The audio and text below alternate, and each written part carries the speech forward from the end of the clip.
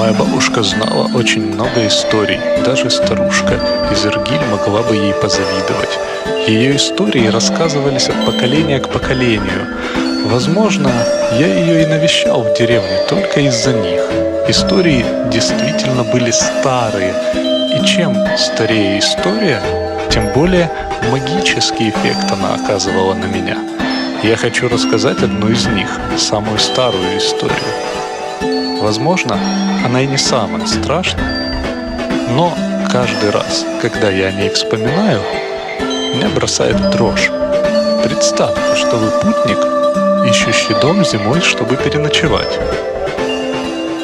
В России всегда это было проще.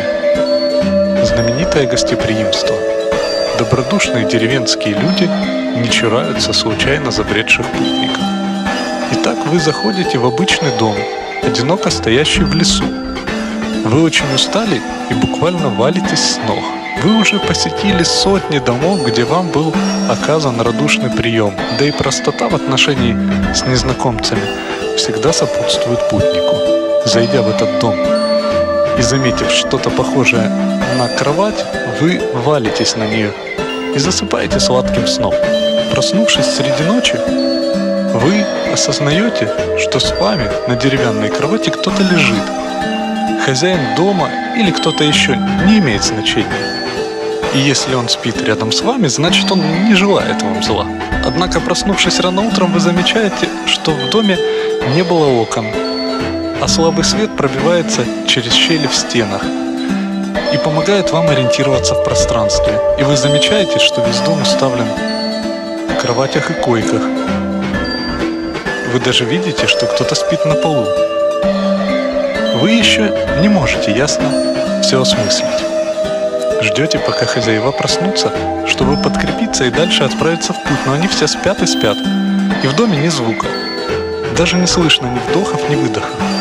Решаетесь разбудить кого-нибудь из спящих в доме.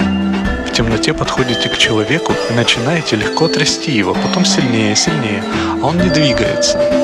Наклоняешь голову к его груди, чтобы послушать стук сердца, а оно молчит. И ты понимаешь, что он мертв. Ничего особенного. Обычная смерть во сне. Ты подходишь к тому, кто спал с тобой на одной кровати и начинаешь его будить. Все тщетно. Ты открываешь дверь, чтобы впустить хоть какой-то свет в комнату, и тебе открывается вся картина. Ряды тел, трупов, тела на кровати, под ними.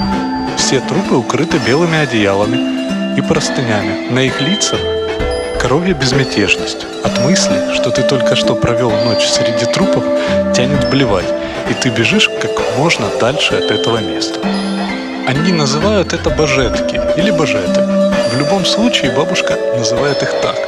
Зимой, когда в селах погибают люди, а в старые времена они дохли как мухи, тела не закапывают в землю. Земля слишком твердая для этого. Тела кидают в сани, кутают в белые простыни, или что угодно, лишь бы белые, и везут туда. Помните картину Петрова «Проводы покойника»? Как вы думаете, куда везут тело бывшего кормильца семьи? Правильно, под божетки раньше использовали любой дом. Иногда строили новый, но тогда особенных усилий не прикладывали.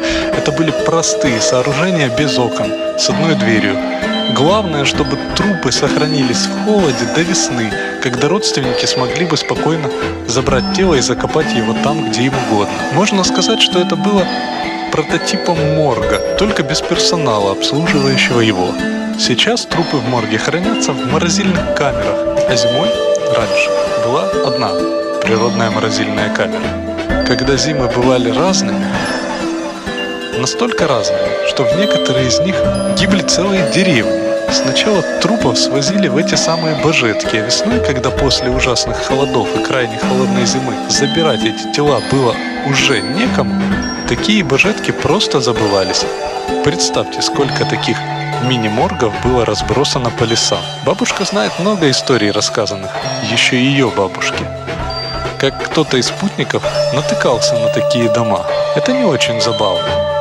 Но такое труположество не было редкостью. Бабушка говорит, что зайдя в такие дома от увиденного испуга, люди нередко сами падали, пополняя копилку подобных затерянных мини-морга.